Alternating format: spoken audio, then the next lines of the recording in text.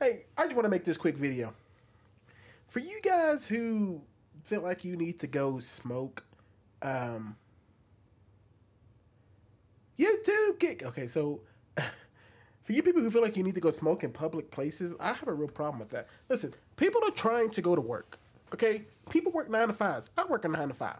Okay, I think it's rude to go to like a Walmart or go to a public place where smoking is not allowed, and then for you to smoke for views. Like, why are you guys so hungry for views? I understand making some money. I understand that you want to make some money. But geez, smoke in the confines of your own home. You don't need to be. You don't need to go smoke in a. Uh, uh, you don't need to go smoke in Walmart, guys. You don't need to go smoke at a public park. You don't need to be smoking where you're not supposed to be smoking. You know, I'm gonna be honest with you. I know some people ain't gonna like this. I understand it's just places where you can't smoke cannabis or THC or even CBD. I don't know a lot of places where you can't smoke CBD, but please don't go to public places where you're not allowed to smoke. You know, I understand you want to make content, you want to make videos outside and stuff like that, but I think it's just bad when I see people like smoking in a closed area. Like smoking in a restroom, smoking um what am I thinking of? Uh where do people smoke? People be doing those blinkers in convenience stores. That ain't right, dude. If you're not supposed to be doing it, don't do it.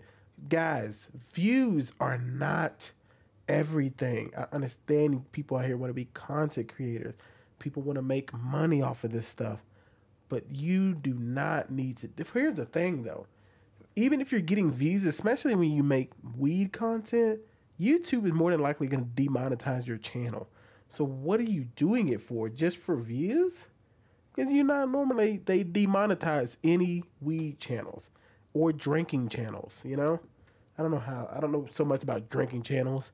Maybe they let them get away with it if they're like tasting the alcohol. I don't know. Y'all let me know. But as far as weed channels, as far as all the cannabis channels I know that show weed and show weed get smoke out of bongs and stuff, most of them, dude, they get demonetized. So they don't make any money. So because YouTube considers it harmful. So stop doing stuff for views. Stop messing up other people's peace. Stop messing up other people's jobs. And stop smoking in public places where you don't need to be smoking. In bathrooms, in convenience stores, in Walmarts and Targets, or wherever you are, man. It's just don't do it for views. Don't mess with people's lives. I know we're all the main character in our own lives, but that doesn't mean you have to treat everybody like they're nothing. I think it's rude and it's disrespectful. Do that stuff on your own time in your own place where you're supposed to do it. For God's sake, please leave people alone and stop making them part of your content, dude.